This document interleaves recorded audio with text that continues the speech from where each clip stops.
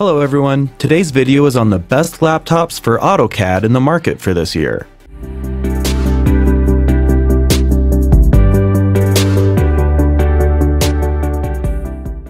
I made this list based on my personal opinion and hours of research, and I've listed them based on quality, durability, price, and more. I've included options at several price points, so no matter your budget, we'll have the product for you. If you want more information and updated pricing on the products mentioned, be sure to check the links in the description down below. At number 1, Lenovo IdeaPad 3 Laptop Computer.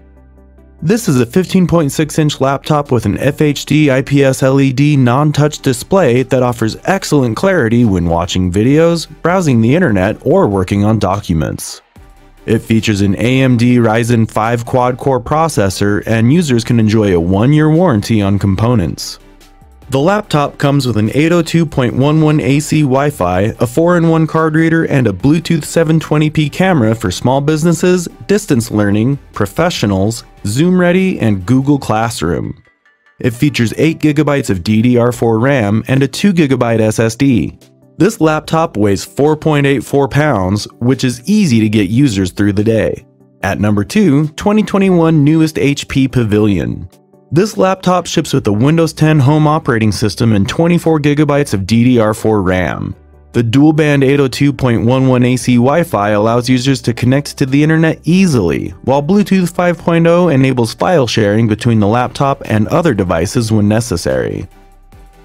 It operates on the 10th gen Intel Core i5 processor, eliminating lags and offering full speed performance when playing games or running Windows programs.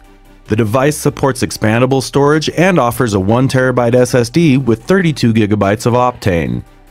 The average battery life is 10 hours, so you can easily use it when you're outside. What can you say about our first two products if you have comments or questions, then just leave them in the comment section and we will attend to them immediately. There are more products on our list, so you will still have more choices to come. If you are not yet a subscriber of our channel, then please subscribe to our channel. Don't forget to press on the bell icon to get an instant notification of when I upload a new video. Now, let's continue.